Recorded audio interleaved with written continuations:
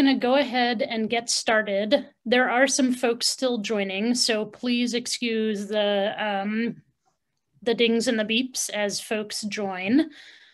Um, I'm SJ Howell. I'm the executive director of Montana Women Vote. I'm really excited and um, thrilled, honestly, to see so many of you joining us on this um, snowy Sunday afternoon. I want to just let folks know that we are recording um, these workshops and plenaries, so just keep that in mind. Um, and we are doing that so that we can make them available, the recordings to folks who may not be able to join in the moment or need to view them um, without internet access. Um, this is our opening plenary for our 2021 Women's Policy Leadership Institute. Um, today we're going to talk about 2021, the legislative session and beyond. We have a, a different, a really different WPLI this year, obviously, and so a pretty exciting week's worth of workshops. And we'll get into that a little bit in just a moment. But I want to, before we dive in, I want to just go over a few um, tech notes and reminders. Um, first of all, let me just say again, I'm grateful for all of you for joining us, and I'm grateful for our presenters who are going to share with us today. We really hope that um, despite not being able to be in person together this year, that the information that we can present um, will be useful in your in your community and help us continue to build relationships and stay connected with one another as we do work to uh, make this state a better one for low income folks uh, across the state. So let's get into the tech notes. Um, everybody on should be muted automatically. Um, but if you have a question when we get to question and answer times, you can unmute yourself by pushing the little microphone icon on the bottom left part of your screen. If you're using a phone to join, you can unmute yourself by pushing star six. If you're accidentally unmuted and there's background noise going on, one of our hosts may mute you, but we do want to provide opportunities for folks to ask questions when we have time for question and answer um, during the first hour of the plenary and during small groups at the end. Um, we really do encourage you to ask questions of us and connect with other participants using the chat box. Um, you can submit questions for us into the chat at any time. And we will make sure that they um, are passed on to the panelists and that we'll try to answer as many questions as we can, given the time that we have. Um, there, we do also have closed captioning available. So if you want closed captioning on, um, you look down at, at your the bottom of your screen, you should have a, a, button that says CC. And if you click on the arrow next to that, you can turn the closed captioning on or off and also adjust the size of the closed captioning. Um, if you have any questions or technical difficulties with any of that, again, you can use that chat box or you can call us directly at 406 317 1505 and we'll get that number in the chat box for you. So if you need help and you need somebody to walk you through something, give us a buzz. Um, please note that texting that phone number won't work. So you'll need to call and we'll be happy to walk you through that. Again, just want to reiterate that we are recording today's session, so keep that in mind. Um, and recordings will be um, made available on our website along with materials that are used um, after the fact. So if you miss something, don't worry, we've got you covered. Um, and at the end of this workshop and all of our WPLI workshops this week, we're gonna have a brief online evaluation. And uh, part of that evaluation, there is an opportunity to put your name into a raffle for one of our conference prizes. Um, and every time you fill out that evaluation form for any of the workshops that you attend, um, that's one more entry into the raffle. So we we do really um, appreciate the evaluations. We read them all; they're meaningful to us. So please do stick around and consider um, filling that evaluation out. All right, um, so here we are uh, at our opening WPLI plenary. It's very exciting. What we're gonna do today is spend the first hour um, sharing a little bit about Montana Women Vote and some of our 2021 priorities and what we're working on in the legislative session. And then we have two um, really fantastic presenters, Heather O'Loughlin from the Montana Budget and Policy Center, who's gonna talk to us about the state budget and tax and revenue policy, and Laura Terrell from Planned, Parenthood's, Planned Parenthood of Montana, who's gonna talk to us about um, the landscape of reproductive rights this year. We are gonna have a little bit of time um, after Heather and Laura present for questions and at the very end of the first hour for questions. But again, put those questions into the chat. It's a great way to make sure they don't get forgotten.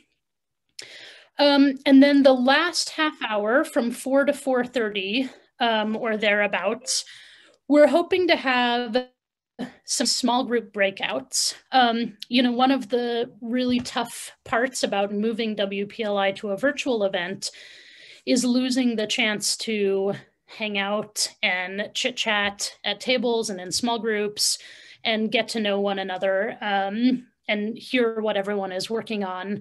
So we're going to do our best to provide some opportunity for small group discussion where everybody can hang out and talk a little bit. Um, we know that small group breakouts on Zoom aren't for everybody. So it is optional. And if you want to leave at the end of the first hour and not join the breakouts, that's totally okay. We understand. But if you do want to join, what we're going to try and do is split those breakouts by issue areas. So we're going to have the issues put into the chat now. And what would be really great is in a minute, I'm going to ask folks to write a little intro about yourself, just very brief name, pronouns, where the city that you're uh, joining us from in the chat. And I'd also like you to consider choosing one of the issue areas that we list as an option for a breakout and putting that in the chat as well. And that way, during the next hour, our tech support folks can sort people out into those breakouts and be ready to go at four o'clock. So again, I'm gonna ask you to choose from one of six issue areas that you'd like to discuss in your small group and put that into um, the chat. And we will then use that to split up our breakouts by issue area. So those issues are healthcare, racial and indigenous justice, criminal justice reform, LGBTQ rights, tax and budget policy, and voting rights. If you know for sure that you can't stay past four o'clock and you don't want to join a small group, you can also just put none in your intro. And that again helps us with our, our um, behind the scenes sorting during the next hour. So um, if folks can, on the right hand of your screen, you should see that chat box. If you don't see it yet, at the bottom, you'll see a little text bubble that says chat. You hit that and it'll pop up on your right. And if folks are willing, we'd love to have everyone just type in your name, your pronouns, and where you're joining us from, and then choose one of those breakout options and list that as well. All right, while folks are doing that, I'm gonna just run through a couple quick other um, housekeeping bits. Um, if you registered with us um, before last week, we did mail out packets, and those packets have um, a program with the agenda for the week. They also have um, a flyer on how to um, how to join and engage in the legislature remotely. We are going to talk um, a fair amount about that on our Tuesday afternoon workshop.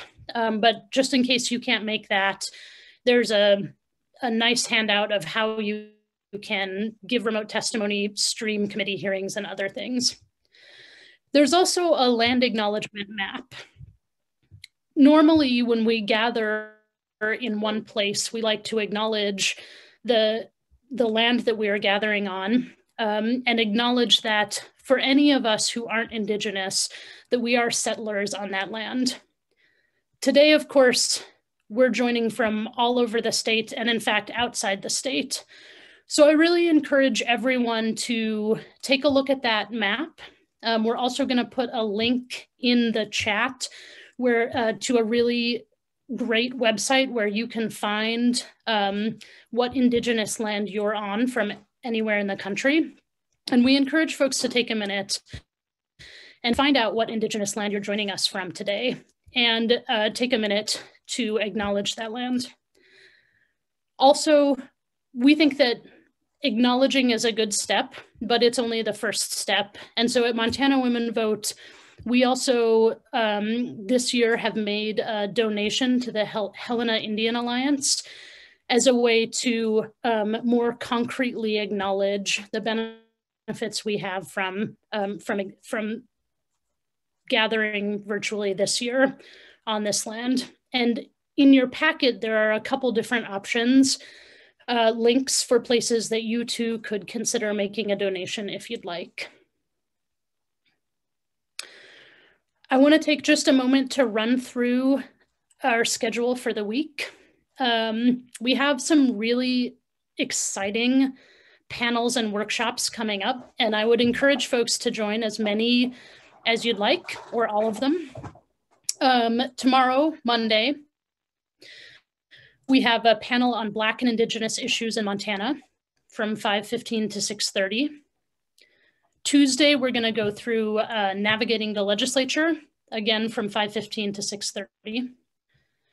Wednesday, we have two workshops, um, healthcare policy in, Monta in Montana from noon to 1.30, and rethinking justice, criminal legal reform in Montana from 5.15 to 6.30.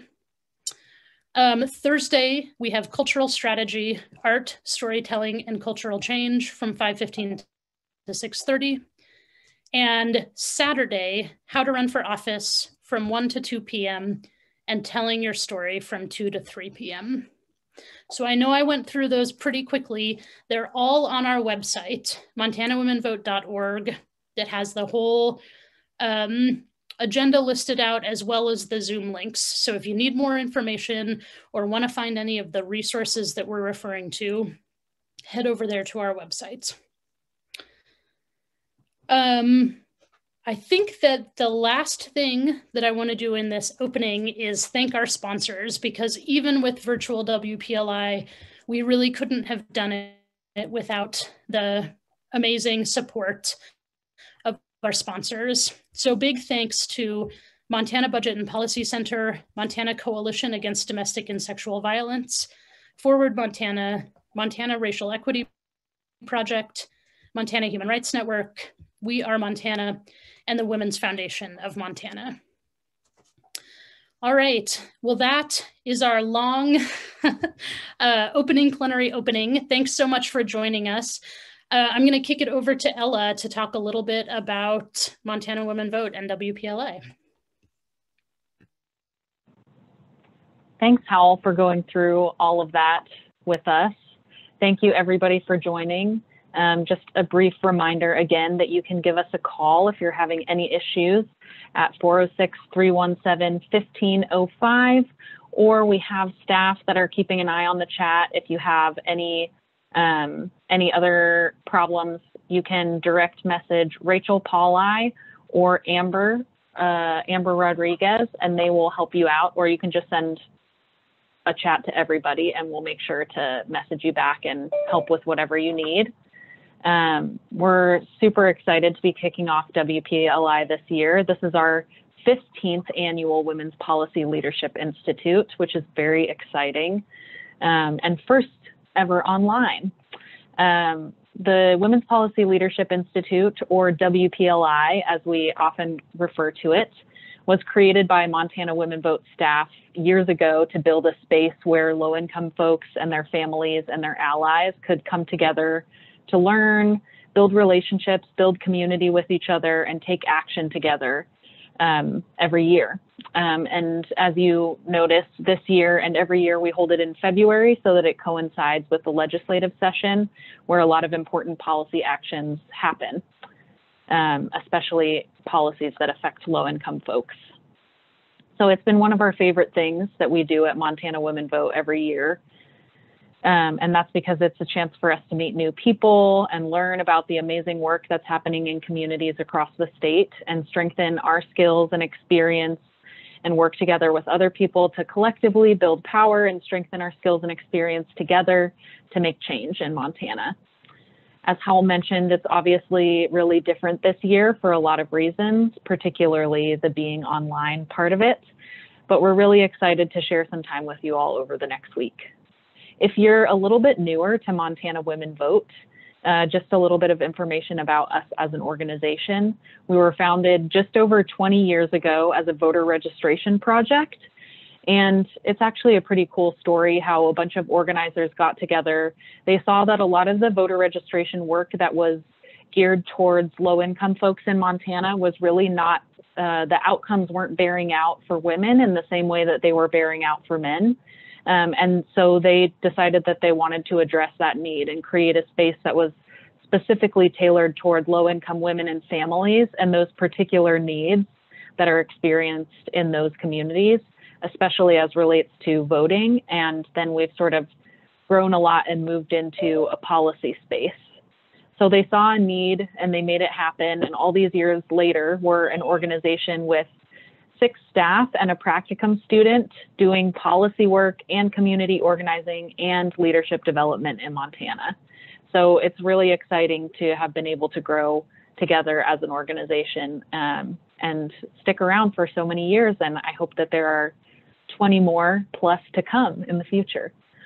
So I want to just take a moment to introduce some of our staff. So if you're on staff and you wouldn't mind um, having your camera on and being ready to just give us a wave.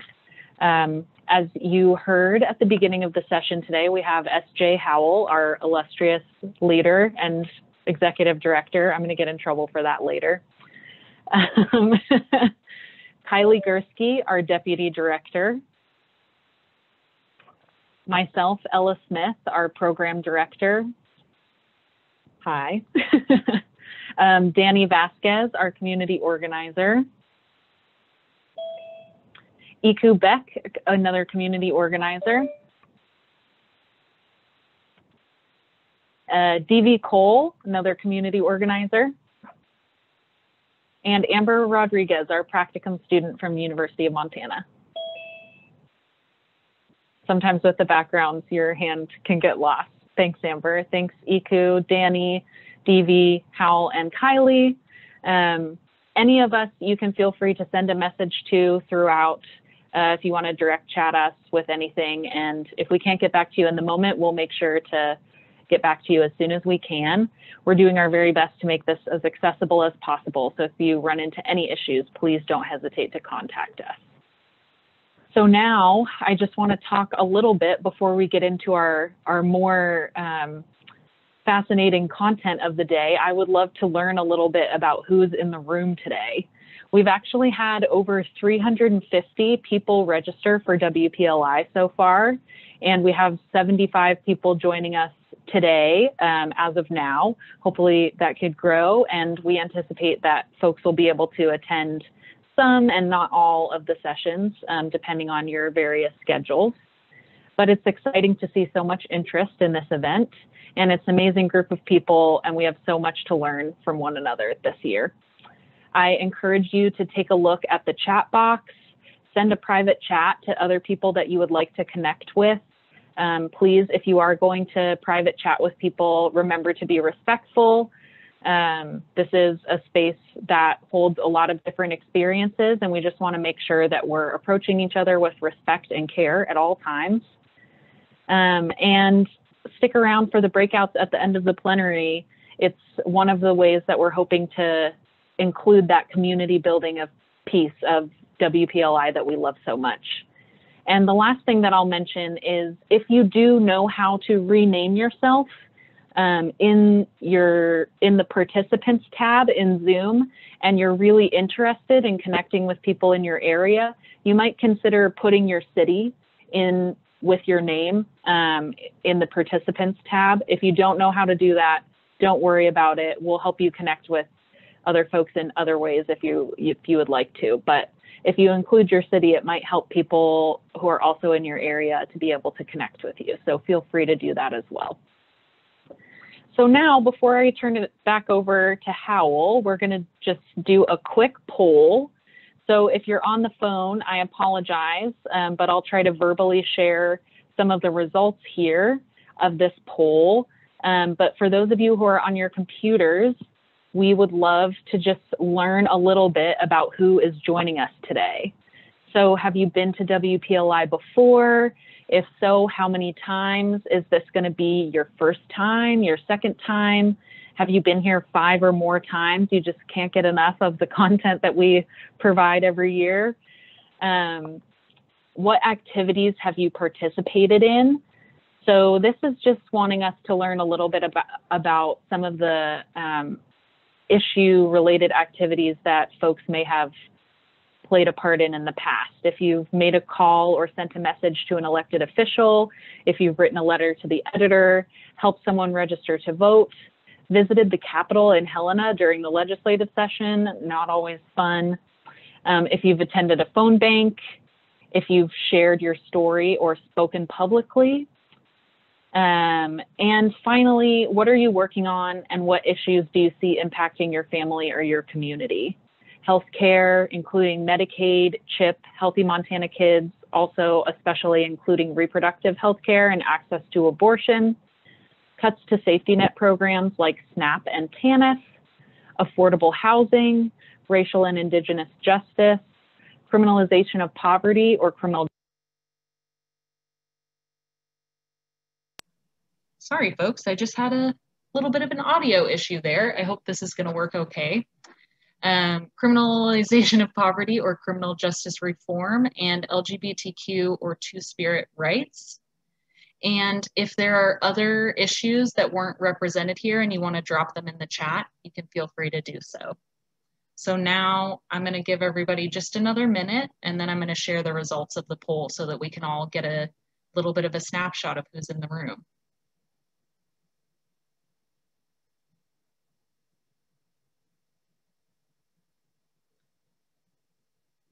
And while I let folks respond to the poll, if you are interested in sharing about WPLI on your social media, or if you're interested in inviting folks who maybe aren't registered, we would be absolutely happy and thrilled to have anybody participate. Um, at some point, we will share in the chat box the link to the full detailed agenda online that includes all of the Zoom links, and registration is not required for attendance. It just helps us communicate with you better. So absolutely feel free to share this event um, on social or with individual folks. And now it's looking like very excitingly that a lot of people um, are here for the first time this year. And I think one of the upsides to being able to provide the Women's Policy Leadership Institute online is a lot of folks who aren't able to make it in Helena in person can participate fully this year from wherever they are, which is very exciting. We got some second timers, uh, some third timers, also fourth timers, and a couple folks, five people who have been here five or more times, which is incredibly exciting. Um, a lot of people here, 92% have made a phone call. Lots of folks have written letters to the editor or helped someone register to vote. A few of us, uh, just under 50%, have visited the Capitol in Helena during the legislative session. Lots of us have phone banked before, and about 40% have shared our story publicly or um, spoken publicly, which is all super exciting. And these are some of the things that we'll be talking about moving forward. and it looks like a lot of these issues that were involved or that we're discussing over the agenda of this event uh, are really resonating with folks. Over 50% selected everything that we, all of the options that we listed. And I'm seeing a lot of um, mentions in the chat of environmental justice, environmental policy, things like climate change, the ways that environmental um, issues affect communities of color, and um, that's something that affects many of our communities very strongly. So food sovereignty, lots of other good issues being dropped in the chat. And please, um, please continue to participate in that chat to the degree that you would like to do so. So thank you so much. I'll share the results of the chat for just a minute so folks can look over it. And I will turn it back over to Howell to talk a little bit about our priorities in 2021. Thanks, everybody. Thanks, Ella. Um, so excited to dig into some issues here, and I'm going to move fairly quickly through some of these because I want to give enough time for Heather and Laura, who are going to do more substantial presentations. But obviously, I think everyone on this on this plenary knows 2021 is um, a year and a legislative session unlike what we have seen in the recent past. Um, you know, we've seen a shift in political landscape in the state that means a lot of our work this year, especially in the legislature, is um, focused on defensive work and defending some of the rights and um, programs that we have fought so hard for over the last few decades. So I'm going to run fairly quickly through some of our top legislative priorities. I'll note that there's going to be a chance to dig into some of these in the small group breakouts. So if one of them catches your attention, um, consider staying for those for those small group discussions. Um, first, you know, protecting and maintaining Montana's Medicaid expansion program. This has been a top issue of ours for, um, well, quite some time now, almost a decade. So far, we're not seeing a lot of direct attacks on, on Medicaid expansion in legislation form, um, but that could change at any point. And we are seeing efforts that will sort of nibble around the edges at eligibility, um, putting barriers in place to access and enrollment. And one bill I want to highlight in particular is Senate Bill 100, which is a so-called, and for folks on the phone, I'm using air quotes here, welfare fraud prevention bill. And this is a bill that would make it um, much more difficult to enroll and stay enrolled in Medicaid and many other safety net programs. So that, that's a bill that we're fighting. We've been highlighting it in our legislative updates and we'll continue to do so. Um, another top priority is um, advancing policies that raise revenue and promote tax fairness and defending against policies that do the opposite. And I'm going to leave that one for Heather because she's got um, a lot more good information and detail. But uh, and and she will highlight a couple bills coming up soon that will really move us away from tax fairness and that we could use everyone's help in defeating. Um, going right along with revenue and tax fairness is defending against state budget cuts and particularly those cuts to crucial safety net programs and to our state Department of Public Health and Human Services, which manages um, and implements those programs. Um, another legislative priority this year is standing up for the rights, the privacy, and the dignity of uh, LGBTQ Montanans, and particularly the trans, non-binary, and two-spirit communities.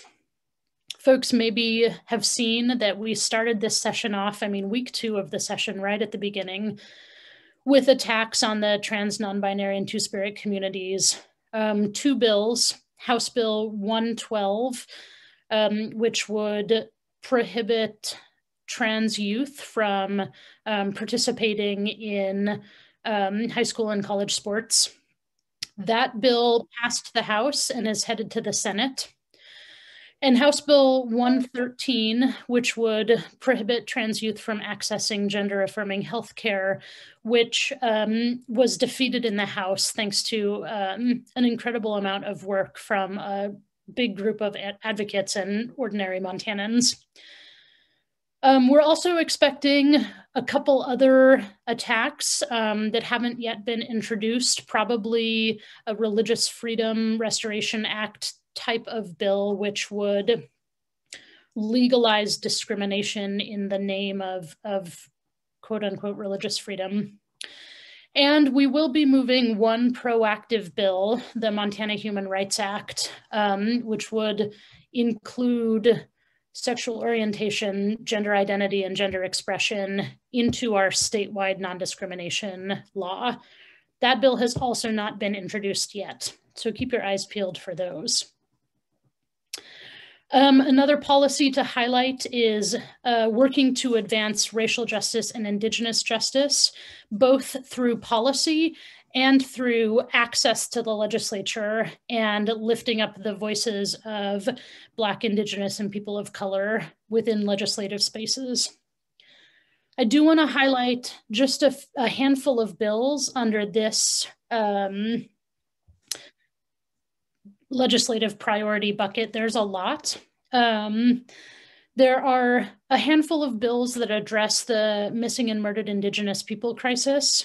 House Bill 35, House Bill 36, and House Bill 98 are all bills that would continue and expand and build on the really good work that was started last legislative session around statewide programs to address the missing and murdered Indigenous people um, crisis in the state. Those bills have all passed the House um, mostly unanimously, which is really wonderful to see, and they are headed to the Senate. Um, there are two bills that would um, create Indigenous Peoples Day, um, Senate Bill 94 and Senate Bill 146. Those are both being both being heard this Wednesday. So um, if you're looking for a way to engage this week, you can send your representatives messages in support of those bills.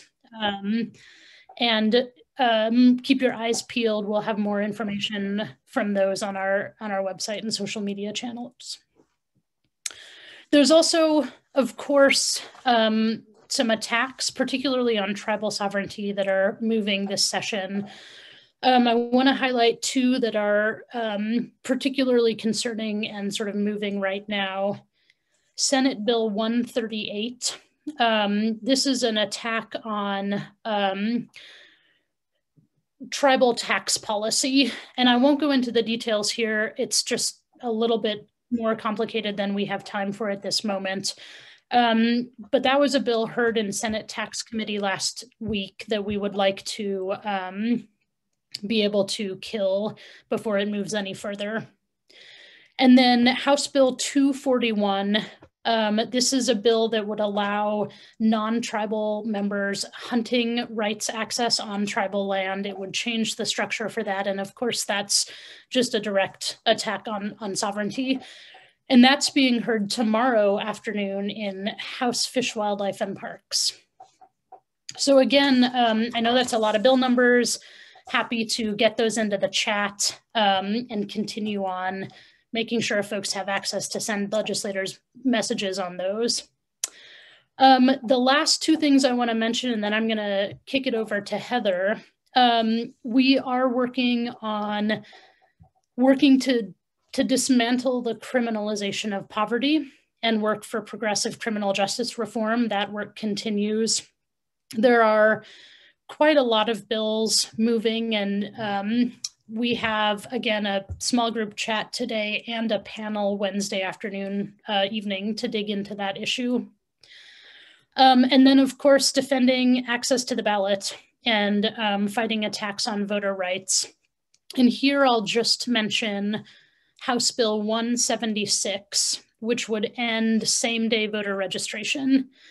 Folks may have seen there was a little bit of drama with this bill. It was tabled in committee and then untabled after pressure from the governor. Um, and it has passed the House and is headed to the Senate. So this is really a bill that um, we need to focus our attention on and, and try and get it killed. So obviously a lot going on, a lot of moving parts, a lot of priorities. Um, again, we're going to talk in depth about a couple of those right now, a couple uh, at four o'clock in small groups, and then almost all of these throughout the week. So we do hope you'll be able to join for some more of those conversations. But in the meantime, I want to move us on to hearing from our presenters um, who are able to spend a little bit more time digging into um, the state budget and tax policy and reproductive rights and healthcare on the other on respective respectively. So, whew, uh, let me just introduce to you Heather O'Loughlin, a co-director uh, from Montana Budget and Policy Center, a longtime friend of Montana Women Vote, and I think our state's expert on um, the state budget. I'm going to take a moment to pull up some uh, slides, and then Heather, you can take it away. All right. Well, thank you, Howell, and um, the whole team at Montana Women Vote. Uh, WPLI is, I think, my favorite event during session, um, and I'm sad that we all can't be together in person, but it is really nice to see so many familiar faces. Um, so Howell and the Montana Women Vote team, I think, wanted me to go through just sort of the the the budget process generally and and what we're seeing so far this legislative session. And then at the end, I'll talk a little bit about some of the tax measures that that Howell mentioned um, earlier. So if you go to the first slide, so um, just a couple like big picture overview of, of what what our state budget looks like. Um, so this is um, the last biennium budget. Uh, so the biennium comprises two years. Um, so because our legislative session meets every other year, when we when we pass a budget is for a two-year period. Um, and you can see that Montana's budget um, is a pretty significant amount is federal funds. About almost half of our budget is federal dollars. Um, a lot of that is Medicaid funding. Um, so when the state um, the state provides a state match for Medicaid programs, but we receive a significant amount of federal Medicaid dollars. So a big, a big portion of that is Medicaid, but it also includes things like highway, federal highway funding as well. Um, the general fund, the green portion, that is what we often talk about as the main piece of the budget that legislators are discussing and deciding how it will appropriate general fund dollars. Um, so there isn't a particular purpose, uh, and it is ultimately up to the legislature to appropriate that money for particular uses. And then the other piece is state special revenue, which is um, different than general fund. It is state, it is state dollars, but it is for a particular purpose. So you can think about this as like the the tobacco tax or cigarette tax. A portion of that is designated for um, healthcare healthcare services. So that's through a state special revenue account. So the next, if you go to the next slide, I'll talk a little bit about what makes up our budget. And I'm going to first start with the general fund dollars. So if you just look at our general fund, this again is over a two-year period. It's about $4 billion um, that is included in the main budget bill. And you can see that about half of that is education funding. So that includes K-12 um, funding to our K-12 public schools, as well as um, the funding that goes to the Montana University system. About a quarter of our budget, our general fund budget is health and human service funding. So the next slide, this is House Bill 2 all funds. So this includes the federal dollars as well. And you can see the, the total amount now when you factor in federal funds and state special funds is $10 billion over that two year period. And you can see now that Health and Human Services makes up the biggest piece of the pie. Um, that is, again, largely a result of the federal Medicaid funds that we receive that are matched by state, that by state dollars. So now let's move to the next slide. So I think it's just important to mention, um, many of you have been um, through WPLI in the past or been engaged in legislative sessions um, in, in past sessions. So many of you will remember that um, the state went through a very difficult budget session uh, a couple sessions ago. So in 2017, um, Montana faced a reduction in, ta in tax revenue that was coming into the state, and that resulted in very deep budget cuts. Um, those cuts were taken during regular legislative session in 17, and then there was also a special session where even further cuts were made. Many of those cuts were taken in Health and Human Services. Um, so in addition to cutting state dollars, we lost a lot of those federal funds for Medicaid programs. So cuts to mental health services, um, the closure of many rural offices of public assistance where folks can go to access services and public benefits, um, and, and cut to higher education and K-12 as well.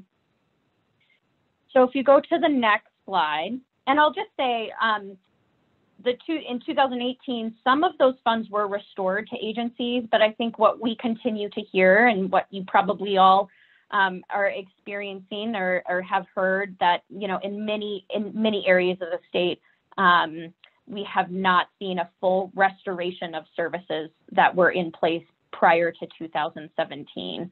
So a lot of folks still struggling to access services, wait lists for home and community-based services, um, the closure of mental health um, centers and um, or the reduction of services in some communities and many of those services have not been built back up. So this is a little slide that we have on the process of the of how the legislature builds the budget. And this really starts before legislative session. Um, the governor proposes a budget in mid-November. Um, we have noted here, we added uh, a, a, a, bullet here that um, Governor Gianforte then as the new governor also made recommended changes to the budget. So I'll talk a little bit about how his budget, his proposed budget compared to what Governor Bullock had proposed. And then legislative session starts and the, the lion's share of the budget process really at the beginning of session is, is conducted in these subcommittees. So um, the subcommittees are comprised of both Senate and House legislators, and they're broken up into different um, par parts of the budget. Um, so there is a subcommittee that focuses on the natural resource agencies and Department of Transportation. There's a subcommittee that focuses on K-12 education and higher education, sort of the education agencies. Um, there is a subcommittee that is devoted entirely to the Department of Public Health and Human Services. It's the largest agency that the state has, um, and that subcommittee focuses its attention entirely on that one department. So those meetings are happening right now. Um, they hear from the agencies, they take public comment from um, providers or individuals who are impacted by the budget, um, and they conduct these hearings over the course of about a month and a half. And so if you're interested in a particular piece of the state budget, you want to know what is happening with this department or this particular program, you can go and see which subcommittee has jurisdiction over that agency. And those are really um, the, the legislators that are, that are that are digging into the details of that budget. So I always really emphasize that those are the legislators that are meant to be really the experts in that piece of the budget and really an important they're they're the key folks if you're looking at um, I want you know I want to push for an increase of of an investment in a particular program. Those are really the subcommittee members are the ones that are really going to be focused on it. So from there, um, after the subcommittees take action in mid-February, um, the the budget bill, House Bill 2, was put all together and then it's heard by the full House Appropriations Committee. Um, after they take action, it then goes to the House floor, and then it moves over to the Senate and they have a hearing in the full finance and claims and then it goes to the Senate floor. So it kind of follows the same process in the Senate. In each of these points, the legislature can make changes. So um, certainly I, I think we expect that the full appropriations may make changes from what the subcommittee had. And we've also seen in past years where the finance and claims and the Senate also makes changes. Um, so at that point, the legislature can conference, um, can uh, organize a conference committee to work out the differences, or the House can accept the Senate changes. So um, that's kind of the budget process in a nutshell. We're really in those subcommittee hearings right now. So next slide. So just a little bit of overview of um, the, the governor's budget. So Governor Bullock, again, um, released a proposed budget in mid-November that's required by law. Um, as the new governor, Governor Gianforte then made uh, recommended changes uh, from that from that budget. I think the one thing that we were um, that we were pleased to see was that Governor Gianforte's proposed budget largely reflects Bullock's budget. Um, there are not huge deep cuts um, to programs, and in fact, most of the um, inflationary adjustments or adjustments that are needed to maintain services into the next uh, into the next biennium were included in in Gianforte's budget. So that was good, pos positive news. Um, there are a couple things that that are different, and so overall, his budget reflects about $100 million less in expenditures. Um, a couple big things that he has proposed is increased vacancy savings rate amongst all the agencies. So this is essentially requiring each agency to hold open a certain number of state employee positions vacant for a period of time in order to reach those savings.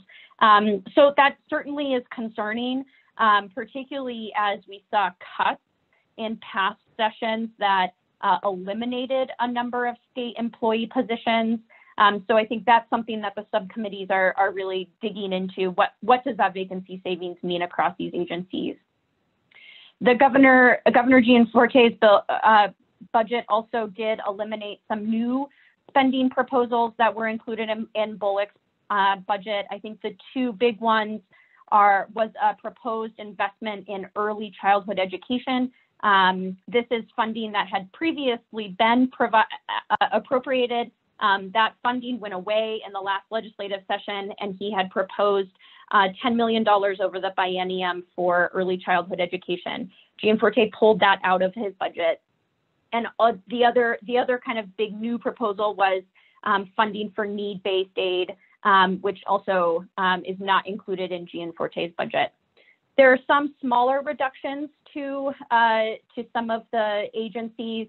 Again, not not dramatic changes, but um, things that the subcommittees are now looking at, um, particularly around the Office of Public Defender um, reductions there. Some reductions to the Department of Correction proposals, and then uh, a slight reduction to the inflationary adjustment for the university system. There are some new proposals, um, which I won't get into here, um, but he has proposed um, utilizing some of the um, recreational marijuana um, funding for new um, uh, substance use disorder treatment to match for some additional federal dollars. And there is a proposal for some new, a new program for K-12 teacher recruitment. Um, so I will actually, I'll tackle the, um, the tax cuts in the next, I think I've got a separate slide on that, so we can keep going. So just really quick on the subcommittees, um, there's been some press around um, the actions that want that the subcommittee that is in charge of the Department of Public Health and Human Services took. It is a little bit wonky, um, but in effect, um, the the subcommittee took action right at the start of the subcommittee process to drop DPHHS's budget down from what they would previously had used for the base to build the next biennium budget down to the 2019 actuals. The effect of this is not totally clear at this point, um, but I've provided just a little bit of detail on how much that is. It is a, a considerable reduction to DPHHS's budget um, to start this process. Now, they could rebuild that back up and then build from there, um, but that has not been really made very clear. Um, so I think many in the health world are, are concerned about what this might mean um, and have been talking to the subcommittee about the importance of not just rebuilding back to 2021 base, but um, investing additional resources into these programs. So next slide. So just real quick on the tax proposal. So, um, you know, Gianforte talked it, before the election about um, wanting to slow the growth in the budget. Um, as I mentioned, you know, he, he has proposed some reductions or cuts in the budget um, and is turning around and also proposing pretty considerable tax cuts. Uh, so I've included here the four main bills that we are going to see, and actually all four of these bills are, are going to be heard by committees this upcoming week. Uh, the first one, Senate Bill 159, proposes cutting income taxes.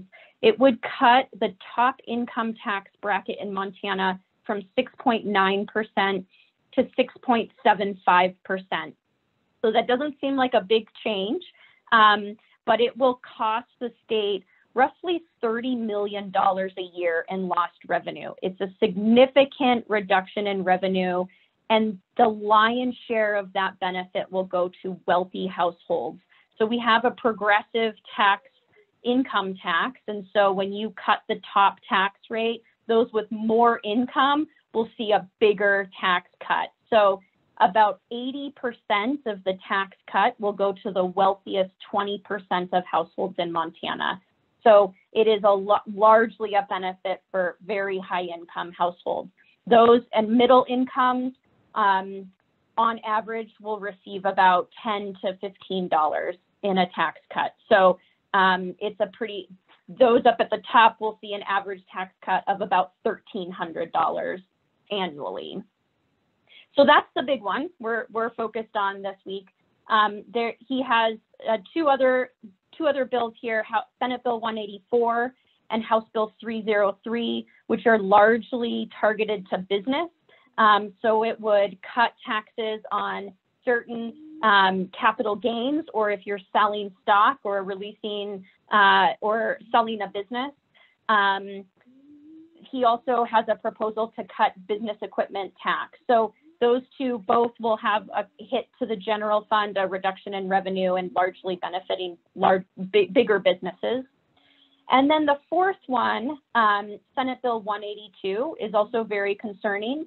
Um, it is not proposing tax cuts today, but it essentially says if we see revenue come in in future years above a certain growth rate, it will automatically trigger further cuts to income taxes um, again, reducing that top tax bracket. So this one is very concerning to us. We've seen this in other states. Um, it, it, it can play, uh, it can uh, really hamstring future legislatures in making investments in the future. Um, and in many instances, we see that these triggered tax cuts occur and you hit a recession or a dip in, in revenue like we saw in 2016 and you don't have the revenue then at that point to um, to, to rebuild the budget. So um, very concerning, and um, you know certainly stay in touch. And with Howell and Montana Women Vote team, um, we'll be getting talking points out. And I think these are four bills that are um, certainly worth folks' attention and um, urging legislators to to oppose them. So I'll go ahead and stop there. Um, and happy to take any questions folks have.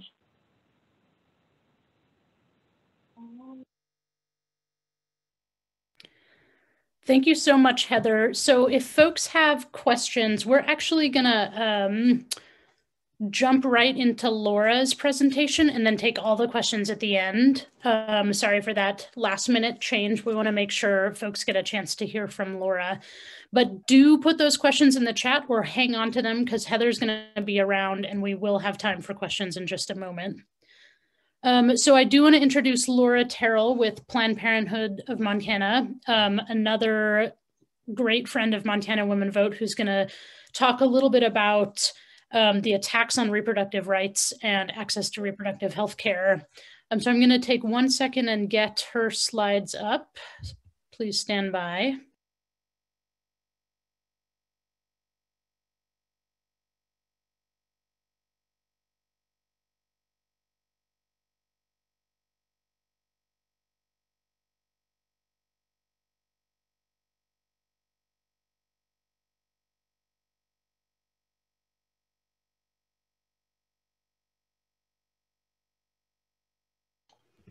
Okay, Laura, take it away.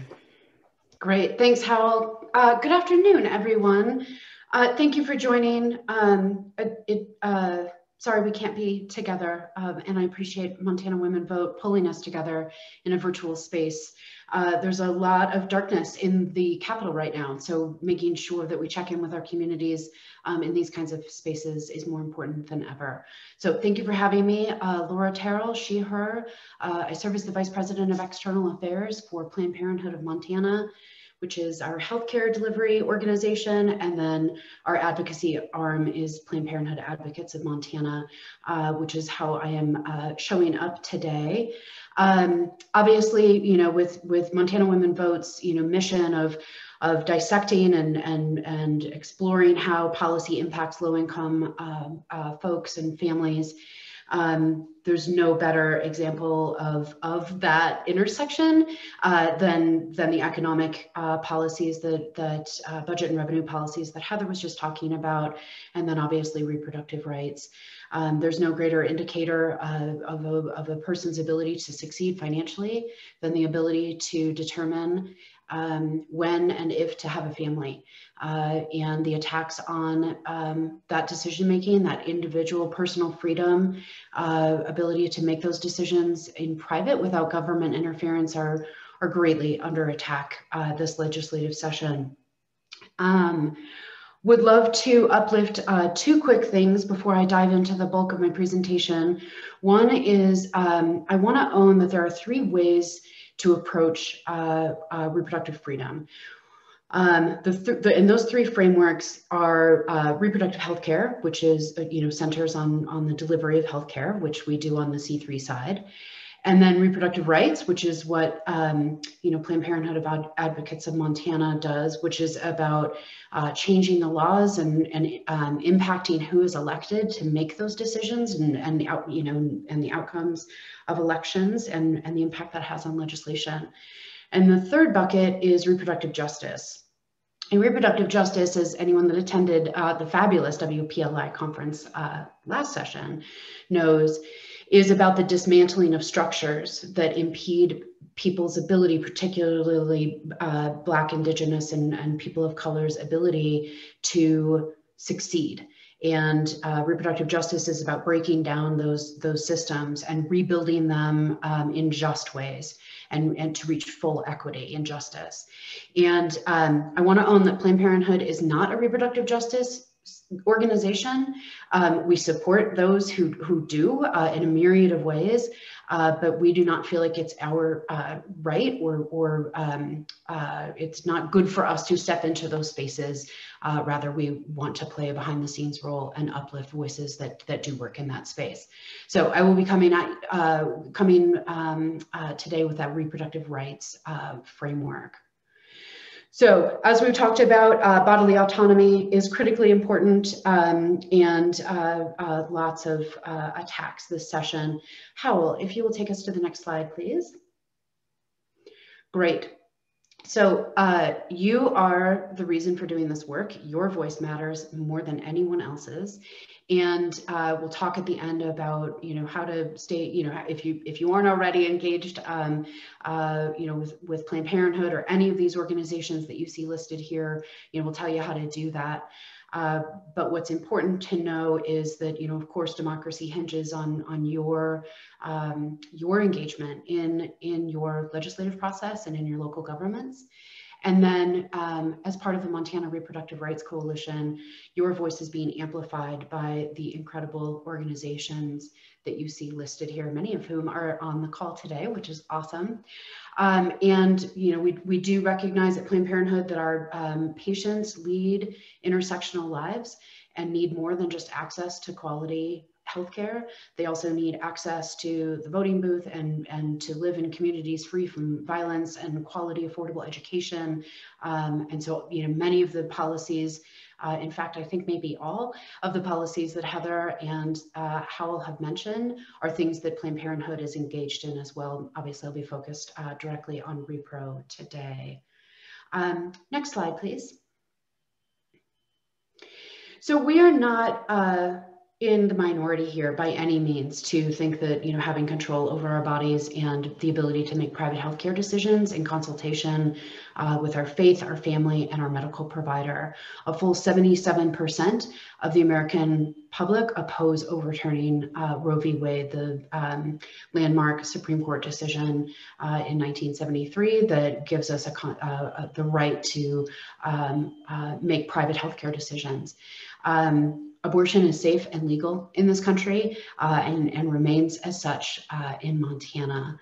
Um, and I want to point out that a majority of Montanans uh, also uh, believe that that you know access to the full range of reproductive health care, including abortion, uh, should remain safe and legal. Uh, we have a constitutional right to that. And although folks seeking an abortion shouldn't have to um, justify their reasons, um, for, for obtaining one, uh, what we're seeing, the attacks are becoming, uh, particularly here in Montana, which we'll talk about in just a second, um, uh, later in pregnancy when families need to elect to have an abortion it's often under rare and heartbreaking circumstances and need and they need every medical option available to them uh, potentially to you know save the life of the mother um, or to prevent uh, you know additional upheaval um, in their lives. Uh, next slide please so just wanted to uplift really quickly about uh, an overview about who abortion patients are in this country. And what's important here to understand as y'all look at this data is that, as we all know, so often, you know, the way that we can um, you know, a government's reflection of, of their values and how they value people is um, predicated on the policies imposed on low income people and those with who already face you know barriers to accessing healthcare education you know uh, clean environment so there you know when we look at attacks on low income folks generally we get a sense of where government is is trying to go. And um, abortion uh, you know abortion politics and abortion policy is is um, you know unfortunately a, a really great example of that uh, the folks that are per, um, pursuing uh, anti-reproductive health care policies in Montana um, are absolutely trying to shame uh, uh, folks who, who are pursuing abortion and further stigmatizing um, healthcare. Abortion is healthcare and uh, no other uh, healthcare policy is, is as hotly debated um, as abortion and not, not be. Um, what we know is that um, folks, uh, you know, who need abortion and, and these attacks on abortion, abortion doesn't go away. It just becomes more unsafe.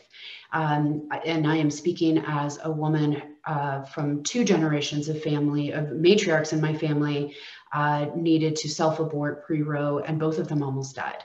Um, this is not hyperbole, right? I, you know, I, um, I know you all, uh, you know, have heard stories, and and um, I'm here uh, because someone didn't die uh, trying to self-abort, and and so I, um, you know, think about my mom and my grandma um, on the daily, and my daughters too, and all of us. Um, uh, it's controlling. So uh, the last thing I want to say here is not only, you know, is is are these policy attacks a good indication of, of government interference, but also um, the ability to pay, because safe and legal abortion doesn't mean anything if folks don't have the ability to pay for it. Um, and, and we're seeing um, those kinds of attacks, you know, attacks on, on access to public uh, health programs uh, this session also. So without further ado, Hal, the next slide, please. Great. So there are um, two stripes on the page. I'm not sure where those came from, but welcome, uh, pink stripes. Oh, ta-da! Uh, there's some voodoo happening back there. Um, so there are so many bills that I decided to uh, break them up into categories. You know, obviously we're happy to provide a full list, um, but I, um, what I, because, and the reason I decided to categorize them is that the bills that we're seeing this session are part of a national trend the, the folks in Montana who are pursuing these policies, these anti-reproductive health care legislators, are not um, unique, right? These are these are pages out of a playbook, a national playbook to outlaw abortion, and states are vying to be the case that's you know going to trigger the you know ultimate review at Roe, and it's like this you know strange white dude contest um, to see who can, you know, get the the um, case in front of the Supreme Court to ultimately overturn Roe. So a um, little bit different of approach here, and I'm happy to answer questions or you know get into you know policy detail. But as you'll see here, um, in the 21 session, there are uh, strangely 21, um, at least 21 anti-reproductive health care bills that have been filed. Um, about 45% of those are actively moving and a majority of them are represented um, on this page. So attacks on patients, um, uh, that's the access to uh, uh, public health plans.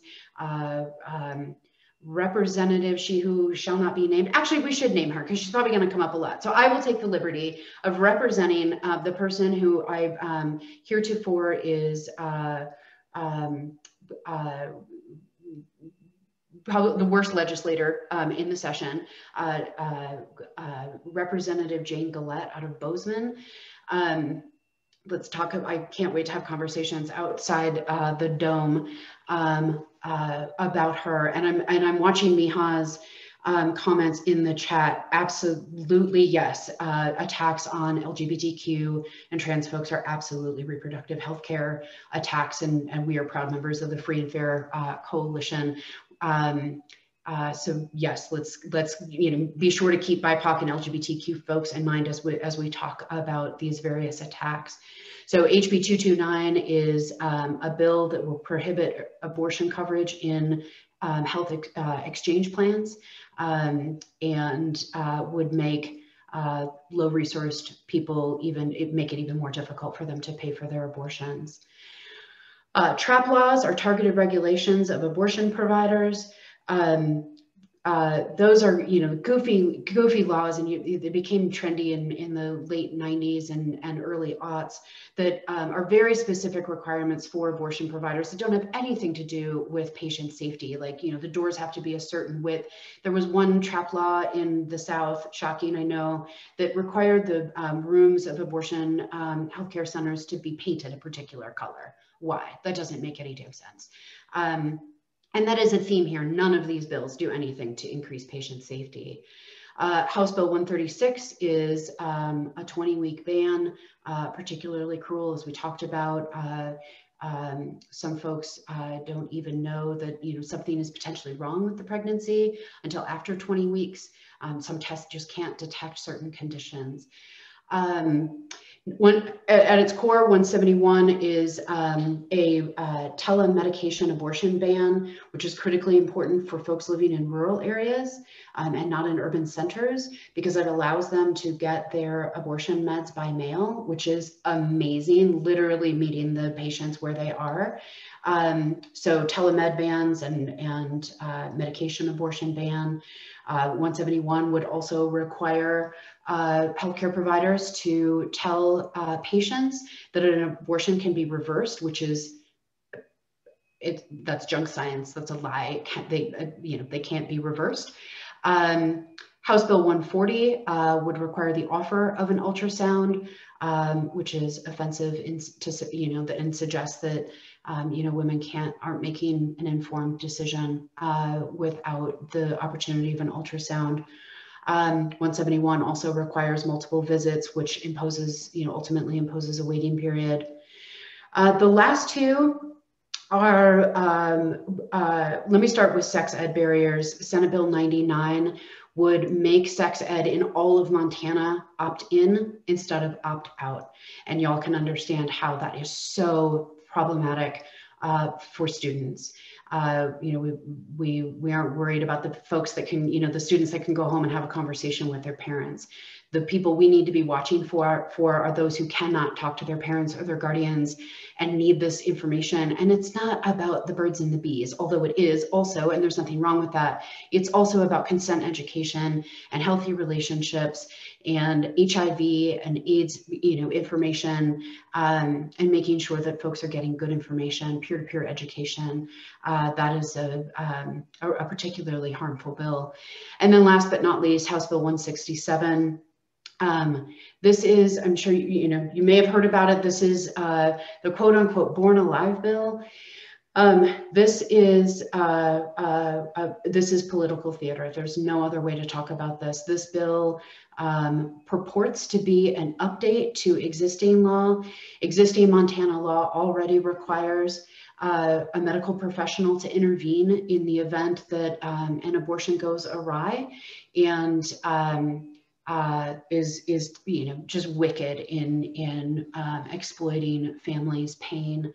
Um, these hearings have been particularly egregious and aggressive, and um, uh, and that's by design. And I could you know talk talk for you know for days about um, about the strategy from the other side to intimidate advocates like us, uh, but we will not uh, be silenced. Um, so I think the next slide is the last slide slide. I will enunciate. Oh, so what if Roe fell? I will just take a quick moment on this. Um, green means that, um, this is so awesome. It's like Sharpie Gate. Uh, green means that uh, only good, only good, if there is such a thing. Um, green means that uh, uh, the rights are protected. Uh, pardon me. Green means that um, rights are expanded, which is um, amazing. Uh, go East and West Coast. Uh, yellow means that uh, rights are protected. Pink means that rights aren't protected. And then red um, means that the state is hostile, uh, which is a growing trend. More and more states are, are following red. The reason why Montana is listed yellow, so I um, should have forecasted for you that I was going to uh, depress you and then hopefully bring you up at the end. Although no guarantee, um, our right to privacy in the Montana state constitution is stronger than that in the national constitution. So uh, when, not if, but when we litigate um, bad bills that are coming out of the legislature, uh, we are hoping that ultimately our state constitution um, will prevail and, uh, and, and protect access uh, to abortion rights. And then last, I, I, don't know where Miha is going, but I want to go with them. Um, and then the last slide, Howell. Great. So that bit.ly at the top um, is how to sign up for our weekly legislative newsletter, which will include information about all of these bills, um, how you can engage, including you know links to uh, reach out to your legislator. Our fabulous organizer, Julia Maxon, is on this call and does all the behind the scenes stuff to make sure that with the click of a mouse, y'all can uh, get in touch with um, the body that needs to be lobbied, whether it's the committee or the full uh, legislative body. Um, we put those weekly newsletters um, up on our website, uh, which is listed there. And then if we have, if you all have questions that we don't have a chance to get to today, uh, my email address is listed there. Oh, thanks, Ella. Super helpful. Thank you. Laura, thank you so much. Um, Heather, thank you so much as well. That was um, a very thorough, if at times slightly depressing, um, dive into both um, the budget and tax policy and what's happening on the repro rights front. Um, I want to acknowledge that we are just a touch um, over time based, you know, from our um, planned time frame. So I want to just um, see if there are any questions in the chat. I'm not seeing any that we want to address right up front. Um, if anyone has a burning question for either Heather or Laura, um, throw it in the chat right now. And um, we're gonna, we'll take a couple minutes for those and then we'll just move straight into those breakouts. So we have at least 15 minutes to chat with one another in small groups. Um, all right, here is a question. If a bill is out of committee and you know your reps are voting the way you want, is it still worth contacting them? Um, if, or is the time spent better uh, writing to someone else? And if so, who? So we do know that the most impactful messages to legislators come from their constituents. So it's always actually good to contact your reps, even if you know they're voting the right way, because they're almost certainly hearing from folks on the other side. So go ahead and send that message. It's easy, start there. Um, I would say uh, remember that there's committees on both House and Senate side. So um, most bills haven't gone through both sides. If your bill, if the bill you're watching is out of the Senate or the House, then think about which committee it's going to in the other chamber, and you can send messages to that whole committee. That's the next thing that I would consider doing. Um, and then, you know, lastly, I would say you can always send a message to sort of targeted legislators, that is, legislators who might um, switch their vote, uh, especially on key committees. Um, and when you do that, I think it's worth taking a little bit of time to craft a message that is personal because if you're not their constituent from their district, it does go a long way if you can say a little bit about who you are and why the issue impacts you. So that's what I would say in answer to that question. Okay. Um, I want to say that we're going to go ahead and move into our breakouts. What's going to happen here is